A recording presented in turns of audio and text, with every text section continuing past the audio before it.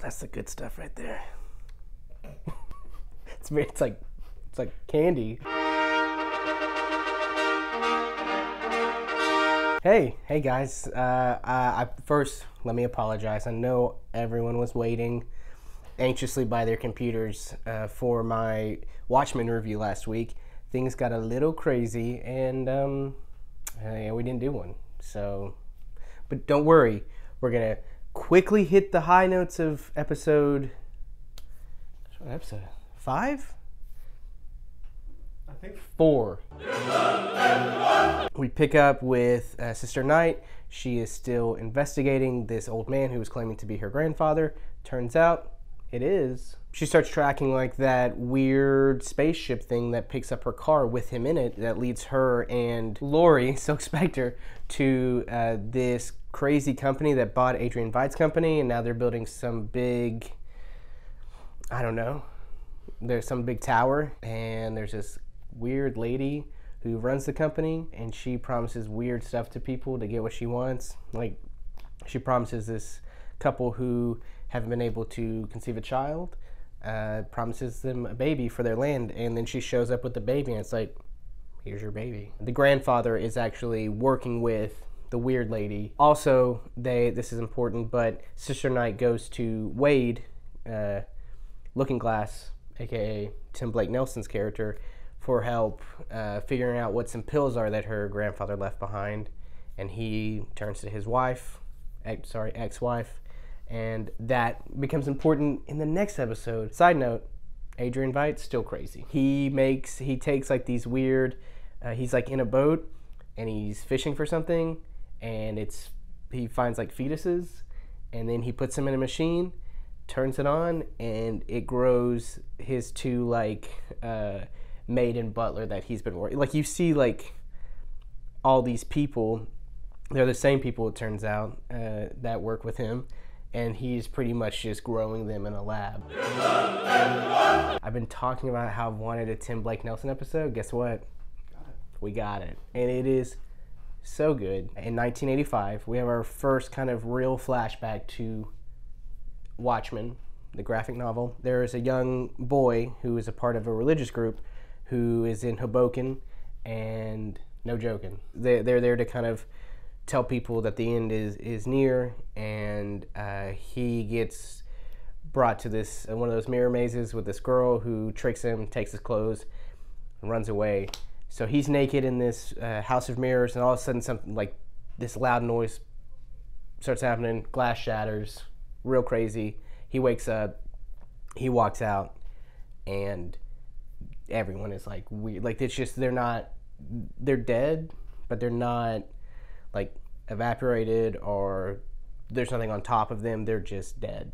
It pans across to New York, and then uh, Frank Sinatra, New York, New York, keeps playing. And you see the giant squid. We got a squid in here, dude. You saw the squid. Oh, we saw the squid, guys. Fast forward, obviously not into religion anymore. He is. We start to find out that he's kind of crazy, but he's he's crazy because he's so worried and freaked out about like something like that happening again. So he normally wears a hat, but it's got some kind of reflective material, just like his mask.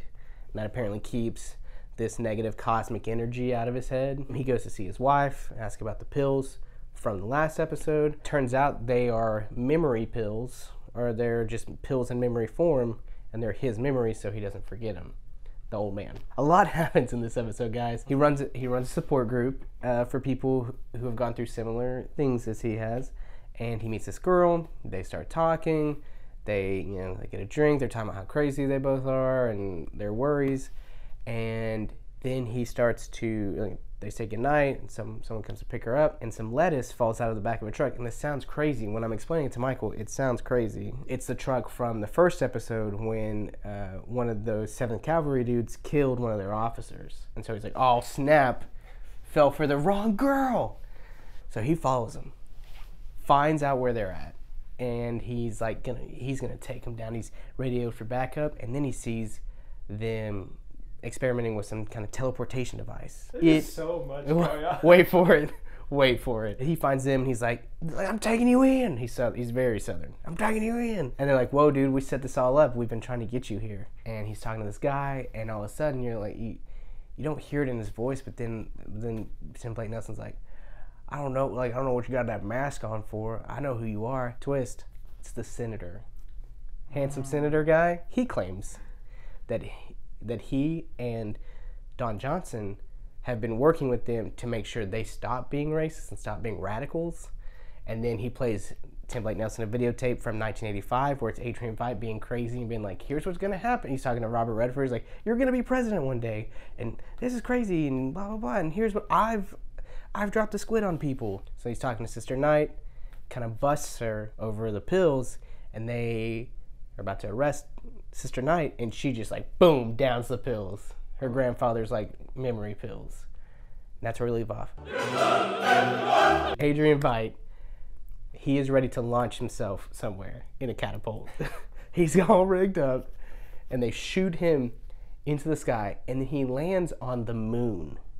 The moon, dude. Wait, no. Yes. No. Yes, or some kind of planet. Then he starts taking the bodies. Apparently, he's been launching his his maid and his butler, like the clones, into into the sky, and they've been landing on this planet. And he starts rearranging them to spell out "Save me" for a satellite to see. And then he's pulled back in. He's pulled back down by this like law enforcement dude who lives on this like I don't know what it is now. Guys, this story, this show is crazy. Best line of the whole show though.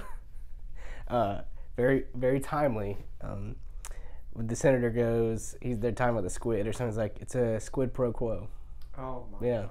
Yeah, this show, man, it is cool. It is weird. This is the episode I needed. This is the episode I needed to like bring me back because the last few, I'm like, okay, I get it. Like we're building, we're I, okay, we're still building, and we're still introducing weird things. But this is the episode that kind of says, hey, you know what? This is kind of what's going on. That we have, we don't know everything yet, but we know all the players and we know wh- where they all stand and how they're all connected. So yeah, it was awesome, but it was weird. So keep uh, keep watching, guys, and we'll we'll see you next week. Maybe. What if I can't handle it anymore? What if this show just drives me crazy?